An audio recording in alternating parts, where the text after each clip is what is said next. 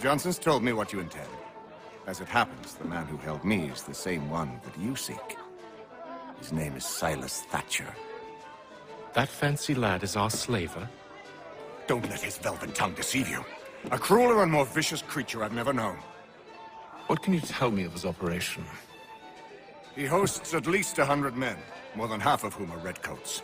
All this for some slaves? Hardly.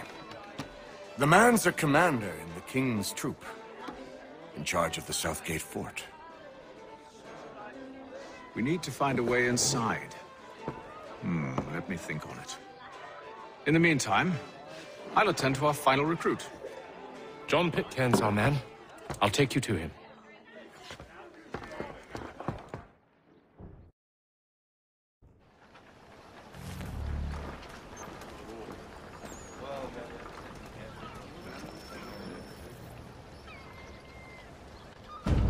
State your business. New recruit. More kindling for the pyre, eh? Well, go on then. How'd you manage that? Did you forget, sir? My commission is with General Braddock. When I'm not attending to you, of course.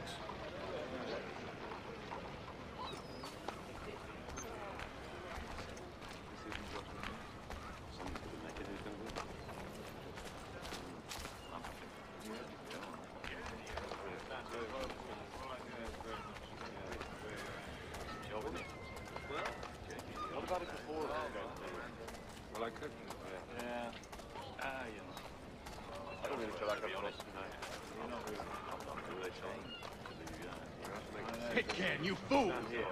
Your acts are treacherous. Give me one good reason. I shouldn't kill you right now. Were you planning to announce yourself? Or did you hope my men Sir, wouldn't notice your if arrival? you'll allow me to explain.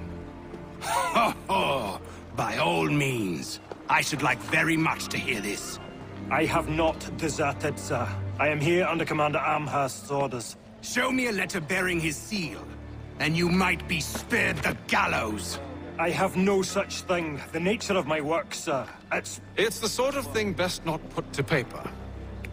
Haytham. General Braddock? I suppose I shouldn't be surprised. Wolves often travel in packs. Master Pitcairn won't be here for but a few weeks. I shall return him to his proper post once our work is finished. The devil's work, no doubt. It's bad enough my superiors have insisted I grant you use of Charles. But they said nothing about this traitor. You'll not have him. Edward, listen to reason. We're done here. See these gentlemen out.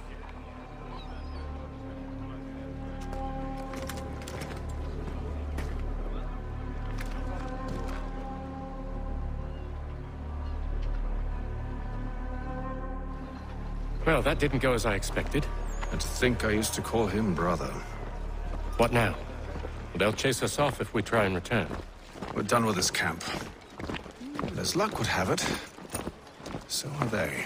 Come along. What are you planning? To steal Master Pitcairn. What? You'll see. Now, when I give the signal, you're to distract Braddock's patrol and lure them into a dead end.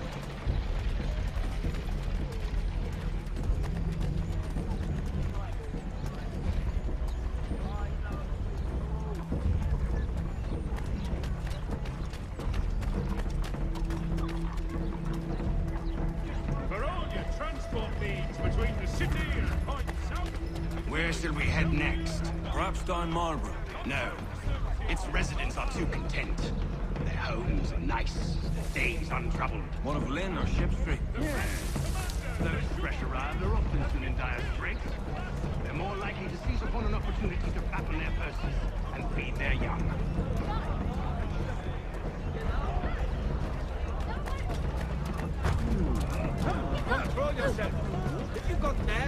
And Herr should be more careful, yeah? My word! Oh, I'll not suffer such abuse endlessly.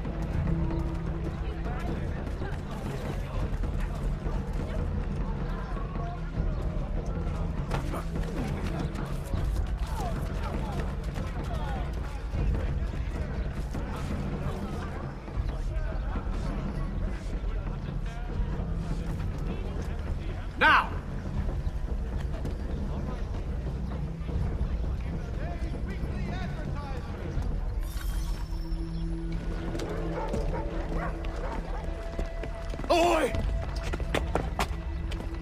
You thieves and scoundrels, one and all!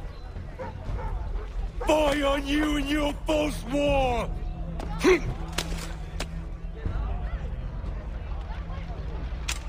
After him!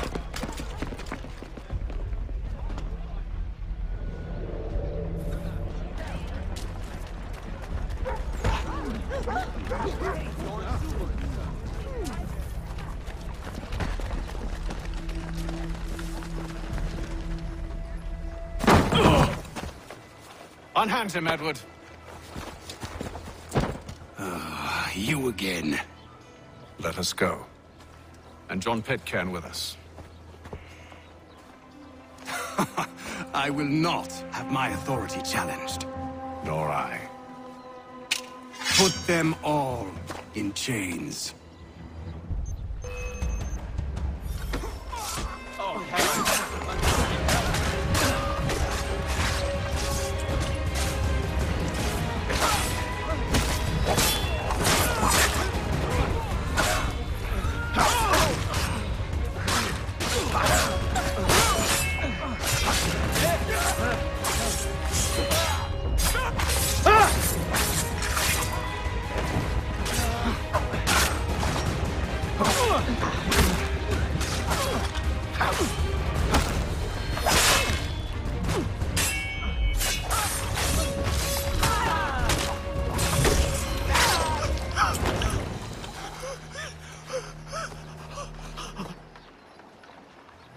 I stay my hand today because you were once my brother, and a better man than this.